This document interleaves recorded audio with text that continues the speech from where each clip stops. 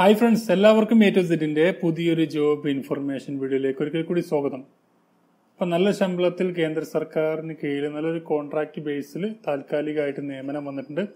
അപ്പൊ ജസ്റ്റ് ഇതിലേക്ക് ഇന്റർവ്യൂ ആയിരിക്കും ഉണ്ടായിരിക്കുക. അതിന് വേണ്ടിയിട്ട് നിങ്ങൾക്ക് ഓൺലൈനായിട്ട് അപ്ലൈ ചെയ്യാം. ഓൺലൈനായിട്ട് അപ്ലൈ ചെയ്തതിനു ശേഷം അവർ ഷോർട്ട് ലിസ്റ്റ് തയ്യാറാക്കും. അതിന് ശേഷം നിങ്ങൾക്ക് ഓൺലൈനായിട്ട് ഇന്റർവ്യൂ അറ്റൻഡ് ചെയ്യാം. അപ്പോൾ വീഡിയോ കോൾ വഴിയായിരിക്കും ഇതിലേക്ക് ഇന്റർവ്യൂ ഉണ്ടായിരിക്കാം Ministry of Health and Family വെൽഫെയറിന് കീഴിലുള്ള National Institute of Mental Health and Neuro സയൻസസിലാണ് പുതിയ റിക്രൂട്ട്മെന്റ് നോട്ടിഫിക്കേഷനുമായി ഏകദേശം മുപ്പത്തിനാലോളം ഒഴിവുകളിലേക്ക് അപേക്ഷിച്ചത്. ഇതിലുണ്ട് അക്കൗണ്ട്സ് ഉണ്ട് അതുപോലെ അഡ്മിനിസ്ട്രേറ്റീവ് അസിസ്റ്റന്റ് ഉണ്ട് ഐ ടി ഉണ്ട് കോർഡിനേറ്റർ തുടങ്ങിയ നിരവധി തസ്തികളുടെ ചില തസ്തികളിലേക്ക് എക്സ്പീരിയൻസ് നിർബന്ധമാണ്. ഏകദേശം മുപ്പതിനായിരം മുതൽ ഒരു ലക്ഷത്തി അൻപതിനായിരം വരെയാണ് സാലറി ഒക്കെ പറഞ്ഞിരിക്കുന്നത്. അപ്പോൾ അവസാന തീയതി ഏഴ് ഏഴ് രണ്ടായിരത്തി ഇരുപതാണ് അപേക്ഷിക്കേണ്ട അവസാന തീയതി. തീർച്ചയായും നിങ്ങൾക്കിത് ഉപകാരപ്പെട്ടാൽ ഫ്രണ്ട്സുമായി ഷെയർ ചെയ്ത് അതുപോലെ ഡെയിലി ഞാൻ അപ്ലോഡ് ചെയ്യുന്ന എല്ലാ വീഡിയോകളും ലഭിക്കാൻ ചാനൽ സബ്സ്ക്രൈബ് ചെയ്ത് ഫോളോ ചെയ്യാനും മറക്കാതിരിക്കാം നമുക്ക് ഇന്നത്തെ ഈ ഒരു National Institute of Mental Health and Neuro സയൻസിന്റെ റിക്രൂട്ട്മെന്റ് നോട്ടിഫിക്കേഷൻ എന്താണെന്ന് നോക്കാം.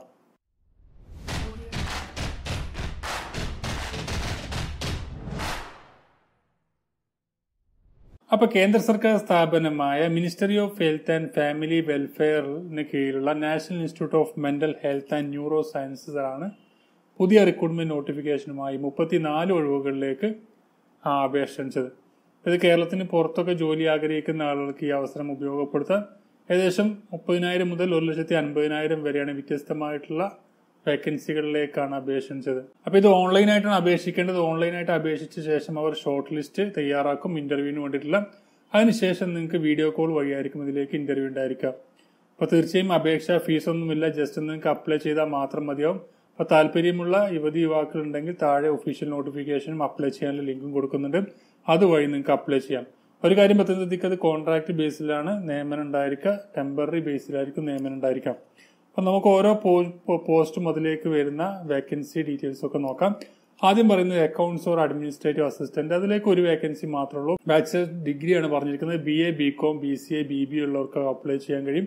അതുപോലെ experience in financial reporting logistic administrative management of office spaces അതുപോലെ തന്നെ ഇംഗ്ലീഷും ഹിന്ദിയും ഇംഗ്ലീഷും അതുപോലെ ഹിന്ദിയിലുള്ള പരിജ്ഞാനവും പിന്നെ എം എസ് ഓഫീസും കമ്പ്യൂട്ടർ പ്രൊഫഷൻസിയും വേണമെന്ന് പറഞ്ഞിട്ടുണ്ട്. ബാക്കിയുള്ള എല്ലാ ഡീറ്റെയിൽസും നിങ്ങൾക്ക് താഴെ അതിന്റെ ഡീറ്റെയിൽസ് ഒഫീഷ്യൽ നോട്ടിഫിക്കേഷൻ വ്യക്തമായി നോക്കിക്കഴിഞ്ഞാൽ മനസ്സിലാവും. മുപ്പത് വയസ്സ് വരെയുള്ളവർക്കാണ് അപേക്ഷിക്കാൻ കഴിയുക. മുപ്പതിനായിരം രൂപയായിരിക്കും പെർ മന്ത് നിങ്ങൾക്ക് സാലറി ലഭിക്കുക. പിന്നെ അഡ്മിനിസ്ട്രേറ്റീവ് കോർഡിനേറ്റർ തസ്തികയിലേക്ക് ഒരു വേക്കൻസിയാണ് അതിലേക്കും ഡിഗ്രിയാണ് പറഞ്ഞിരിക്കുന്നത്. പിന്നെ ഇതിലേക്ക് അറുപത്തി അഞ്ച് വയസ്സാണ് മാക്സിമം ഏജ് ലിമിറ്റ് പറയുന്നത്. നാൽപ്പത്തി അയ്യായിരം രൂപയായിരിക്കും ഇതിലേക്ക് മന്ത്ലി നിങ്ങൾക്ക് റെമ്യൂണറേഷൻ ലഭിക്കുക. പിന്നെ വേക്കൻസി ഐ ടി കോർഡിനേറ്റർ ഒരു വേക്കൻസിയാണ് അതിലേക്ക് B E B tech C S or I T അതുപോലെ masters in I I T or C S from a university institution എക്സ്പീരിയൻസും പറയുന്നുണ്ട്. ഇതിലേക്ക് നാൽപ്പത് വയസ്സ് വരെയൊക്കെ അപേക്ഷിക്കാം. ഒരു ലക്ഷമാണ് ഇതിലേക്ക് മന്ത്ലി സാലറി നിങ്ങൾക്ക് ലഭിക്കുക. പിന്നെ ഐ ടി മെയിന്റനൻസ് ഓഫീസർ ഒരു വേക്കൻസി ഉണ്ട്. അതിലേക്ക് മുപ്പത്തിയഞ്ച് വയസ്സ് വരെയുള്ളവർക്ക് അപേക്ഷിക്കാം എഞ്ചിനീയറിംഗ് ഡിഗ്രിയാണ് പറഞ്ഞിരിക്കുന്നത്. അൻപതിനായിരം ആയിരിക്കും നിങ്ങൾക്ക് മന്ത്ലി സാലറി ലഭിക്കുക. ഐ ടി ഓഫീസർ തസ്തികയിലേക്ക് രണ്ട് വേക്കൻസിയാണ് അതിലേക്ക് B E or B tech ആണ് രണ്ട് വർഷത്തെ എക്സ്പീരിയൻസും പറഞ്ഞിട്ടുണ്ട്. മുപ്പത്തഞ്ച് വയസ്സാണ് മാക്സിമം ഏജ് ലിമിറ്റ് അറുപത്തി അയ്യായിരം ആയിരിക്കും ഇതിലേക്ക് മന്ത്ലി സാലറി ലഭിക്കും ഇതൊക്കെ കോൺട്രാക്ട് ബേസിലാണ് ബാക്കി ഡീറ്റെയിൽസ് നിങ്ങൾ ജോബ് റോളൊക്കെ അതിൽ വ്യക്തമായിട്ട് കൊടുത്തിട്ടുണ്ട്. അത് നിങ്ങൾ ഒഫീഷ്യൽ നോട്ടിഫിക്കേഷൻ നോക്കാം. പിന്നെ മീഡിയ കോർഡിനേറ്റർ ആണ്. അതിലേക്ക് ഒരു വേക്കൻസി അതിലേക്ക് degree in mass media and communication or journalism media or related field മൂന്ന് വർഷത്തെ എക്സ്പീരിയൻസും അതിലേക്ക് പറഞ്ഞിട്ടുണ്ട്. നാൽപ്പത്തി അഞ്ച് വയസ്സ് വരെയുള്ള അപേക്ഷിക്കാം. എഴുപതിനായിരം രൂപയായിരിക്കും മന്ത്ലി നിങ്ങൾക്ക് സാലറി ലഭിക്കുക. പിന്നെ പ്രൊജക്ട് ഓഫീസർ തസ്തികയിലേക്ക് മൂന്ന് വേക്കൻസി ഉള്ളത്. അതിലേക്ക് minimum degree L L B ഡിഗ്രിയാണ് രണ്ട് വർഷത്തെ എക്സ്പീരിയൻസും ഇതിലേക്ക് മുപ്പത് വയസ്സ് വരെയുള്ള അപേക്ഷിക്കാം. തൊണ്ണൂറായിരം വരെയായിരിക്കും നിങ്ങൾക്ക് മന്ത്ലി റെമ്യൂറേഷൻ ഉണ്ടായിരിക്കുക. പിന്നെ റിസർച്ച് ഓഫീസർ രണ്ട് വേക്കൻസിയാണ് അതിലേക്ക് പറയുന്നത് മാസ്റ്റർ ഡിഗ്രിയാണ് മുപ്പത് വയസ്സാണ് മാക്സിമം ഏജ് ലിമിറ്റ് മുപ്പത്തയ്യായിരം മന്ത്ലി നിങ്ങൾക്ക് ശമ്പളം ഉണ്ടായിരിക്കാം. പിന്നെ വരുന്നത് സൈക്കാട്രിസ്റ്റ് ആണ്. നാല് വേക്കൻസി ഉണ്ട്. അതിലേക്ക് എം ഡി സൈക്കാട്രി അതുപോലെ preferably with super speciality such M D or P H D അപ്പോൾ അതിലേക്ക് എക്സ്പീരിയൻസ് പറഞ്ഞിട്ടുണ്ട് ഏകദേശം ഒരു ലക്ഷത്തി ഇരുപതിനായിരം വരെ സാലറി നിങ്ങൾക്ക് ലഭിക്കുന്നുണ്ട്. അതുപോലെ തന്നെ എക്സ്പീരിയൻസും അതുമായിട്ടുള്ള വർക്ക് എക്സ്പീരിയൻസും കാര്യങ്ങളൊക്കെ അതിൽ ഡീറ്റെയിൽ ആയി കൊടുത്തിട്ടുണ്ട്. നാൽപ്പത്തി അഞ്ച് വയസ്സാണ് മാക്സിമം ഏജ് ലിമിറ്റ് പറയുന്നത്. പിന്നെ വരുന്നത് പ്രൊജക്ട് ഓഫീസർ ക്ലിനിക്കൽ സൈക്കോളജിസ്റ്റ് ആണ് പറയുന്നത്. അതിലേക്ക് ആറ് വേക്കൻസി ഉണ്ട് മാസ്റ്റർ ഡിഗ്രിയാണ് ഇതിലേക്ക് പറഞ്ഞിരിക്കുന്നത്. അതുപോലെ തന്നെ ഇതിലേക്ക് മുപ്പത്തിരണ്ട് വയസ്സാണ് ഏജ് ലിമിറ്റ് തൊണ്ണൂറായിരം വരെയാണ് മന്ത്ലി നിങ്ങൾക്ക് റെമ്യൂണറേഷൻ ലഭിക്കുക.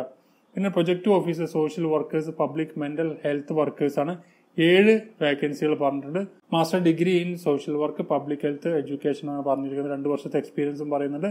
മുപ്പത്തിരണ്ട് വയസ്സാണ് ഏജ് ലിമിറ്റ് തൊണ്ണൂറായിരം ആയിരിക്കും മന്ത്ലി നിങ്ങൾക്ക് ലഭിക്കുന്ന റെമ്യൂണറേഷൻ ലഭിക്കുക. പിന്നെ ടെക്നിക്കൽ ആൻഡ് ഓപ്പറേഷൻ ലീഡാണ് ഒരു വേക്കൻസിയാണ് അതിലേക്ക് അൻപത് വയസ്സാണ് ഒരു ലക്ഷത്തി അൻപതിനായിരം വരെയാണ് സാലറി പറയുന്നത്. പിന്നെ പറയുന്നത് തെമാറ്റിക് ലീഡാണ് തൊണ്ണൂറ് നാല് വേക്കൻസിയാണ് അതിലേക്ക് പറയുന്നത്. അതിലേക്ക് മാസ്റ്റർ ഡിഗ്രിയാണ് ഇപ്പൊ അതുപോലെ തന്നെ എൽ എൽ ബി പറഞ്ഞിട്ട് നാല് വർഷത്തെ എക്സ്പീരിയൻസും പറയുന്നുണ്ട്. അതിലേക്ക് നാൽപ്പത്തഞ്ച് വയസ്സുകാർക്ക് അപേക്ഷിക്കാം. ഒരു ലക്ഷത്തി ഇരുപതിനായിരം വരെയാണ് ഇതിലേക്ക് വരുന്ന സാലറി പറയുന്നത്. അപ്പോൾ ഇത്രയും വേക്കൻസികളാണ് സ്പീഡപ്പായി അതുപോലെ തന്നെ ഇമ്പോർട്ടന്റ് ആയിട്ടുള്ള ക്വാളിഫിക്കേഷൻ മാത്രമേ പറഞ്ഞിട്ടുള്ള. എക്സ്പീരിയൻസ് മറ്റുള്ള ഡീറ്റെയിൽസ് ഒക്കെ ഒഫീഷ്യൽ നോട്ടിഫിക്കേഷൻ വായിച്ച് അപേക്ഷിക്കാൻ താല്പര്യമുള്ളവർക്ക് തീർച്ചയായും ഒഫീഷ്യൽ നോട്ടിഫിക്കേഷനിൽ വ്യക്തമായിട്ട് അതിന്റെ ഇമെയിൽ ഐ ഡി കൊടുക്കുന്നുണ്ട്. അതുവഴിയാണ് അപ്ലൈ ചെയ്യേണ്ടത്. അപ്പോൾ പറഞ്ഞ എല്ലാ ഡീറ്റെയിൽസും മറ്റുള്ള ഡീറ്റെയിൽസും അതുപോലെ സി വി ഒക്കെ ആയിട്ട് നിങ്ങൾ ഈ ഒരു മെയിൽ ഐ ഡിയിലേക്കാണ് അപേക്ഷ സമർപ്പിക്കേണ്ടത്.